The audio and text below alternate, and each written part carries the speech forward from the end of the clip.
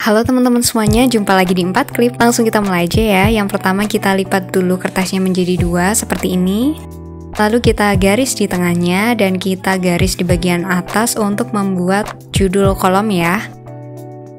Nah setelah terbagi menjadi dua seperti ini, kita bagi kolomnya untuk bisa menjadi 5 kolom. Yang pertama itu ada kolom nomor. Nah ini saya buat kolom nomor dulu. Lalu kemudian kita buat 4 kolom lagi untuk kolom masuk, kolom keluar, kolom sisa, dan kolom keterangan. Teman-teman tinggal ukur aja, terus dibagi menjadi 4 ya. Setelah itu kita garis ke bawah untuk membuat kolomnya. Nah, di bagian tengah ini saya garis menggunakan pulpen yang agak tebal supaya jelas batas kiri dan batas kanannya ya.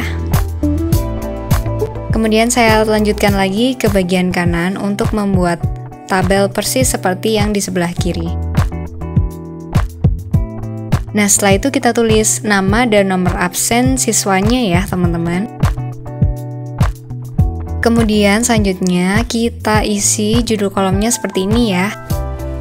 Kita isi judul kolomnya masing-masing dengan tanggal, masuk RP, keluar RP, sisa RP, dan keterangan.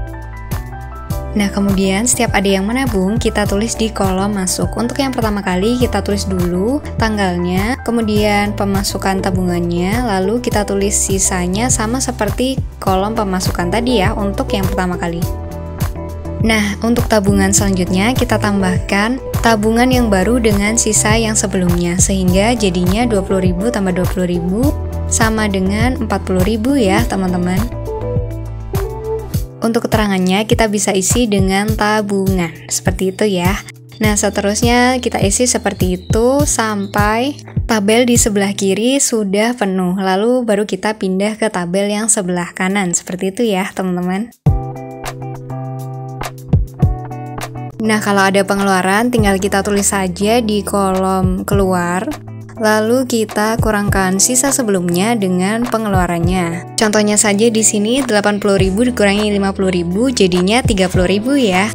Terus keterangannya kita tulis deh dengan biaya apa yang dikeluarkan. Kalau ada pertanyaan, tulis di kolom komentar ya. Semoga video ini bisa bermanfaat buat teman-teman semuanya. Jangan lupa klik like, comment, share, dan subscribe. Sampai ketemu lagi di video selanjutnya ya.